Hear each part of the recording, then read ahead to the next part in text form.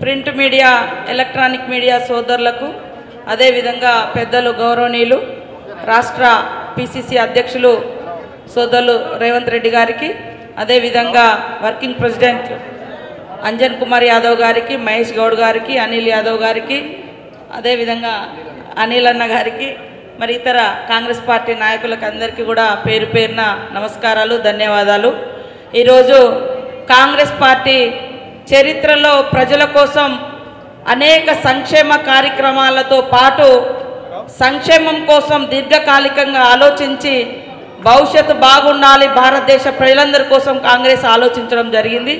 అదేవిధంగా స్వతంత్రం తేవడం కానీ తెలంగాణ ప్రజల యొక్క ఆకాంక్ష నెరవేర్చినటువంటి తల్లి సోనియా గాంధీ గారి నాయకత్వంలో ఉన్నటువంటి కాంగ్రెస్ పార్టీని మరింత బలోపేతం చేయడం కోసం ఈరోజు ఈ టీఆర్ఎస్ బీజేపీ ఆడుతున్నటువంటి రాజకీయ డ్రామాల యొక్క మబ్బులు తొలగిపోతున్న క్రమంలో పెద్ద ఎత్తున కాంగ్రెస్ పార్టీలోకి జైన్ అవుతున్న శుభ సందర్భంగా ఈరోజు ఉమ్మడి ఖమ్మం జిల్లా నుంచి మరి భద్రాద్రి కొత్తగూడెం జిల్లా అశ్వారావుపేట నియోజకవర్గం మాజీ ఎమ్మెల్యే రెండుసార్లు ఎమ్మెల్యేగా ఒకసారి ట్రైకార్ చైర్మన్గా మరి పనిచేసినటువంటి తాటి వెంకటేశ్వర్లు గారు ఈరోజు మరి పెద్దలు గౌరవనీయులు పిసిసి గారి రేవంత్ రెడ్డి గారి ఆధ్వర్యంలో కాంగ్రెస్లోకి రావడాన్ని మేము మనస్ఫూర్తిగా స్వాగతిస్తూ ఉన్నాం.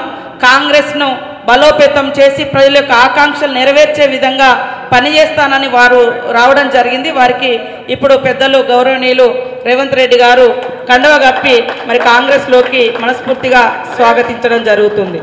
అదేవిధంగా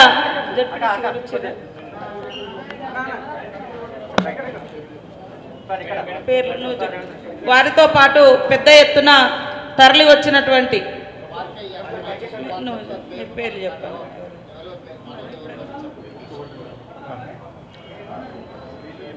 ముందుగా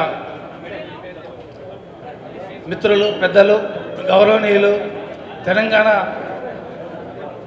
సారీ ఇప్పుడు అదేవిధంగా పినపాక నియోజకవర్గం నుంచి కరుగూడెం మండల జెడ్పీటీసీ కాంతారావు గారు కూడా కాంగ్రెస్ పార్టీలో జాయిన్ అవ్వడం జరుగుతుంది. వారికి కూడా మనస్ఫూర్తిగా ధన్యవాదాలు తెలియజేస్తాం వారితో పాటు మోకాళ్ళ పాపారావు గారు ఎక్స్ సర్పంచ్ గారు కల్తి సారయ్య అమరారం గ్రామ టీఆర్ఎస్ పార్టీ అధ్యక్షులు అదేవిధంగా కొమరం ప్రకాష్ గారు ఎర్ర కృష్ణ గారు మోడెం నరేష్ గారు పినపాక నుంచి పడిగే సాయి కుమార్ గారు కొమరం నాగేంద్ర ప్రసాద్ గారు మోకాళ్ళ ఠాగూర్ గారు దన్సరి సాకేత్ గారు సోలం రాజేష్ గారు గొల్లినేని సురేష్ గారు ఎక్స్సిఆర్పిఎఫ్ అదేవిధంగా సింహాద్రి మనోజ్ గారు నిట్ట లక్ష్మీ ప్రగతి గారు ఇక్కడికి వచ్చిండ్రు.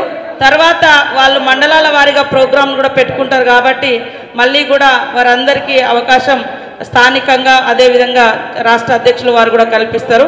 ఇప్పుడు తాటి వెంకటేశ్వర్లతోటి వచ్చినటువంటి పెద్దలందరినీ కూడా వారు ఆహ్వానించాల్సిందిగా కోరుతాను.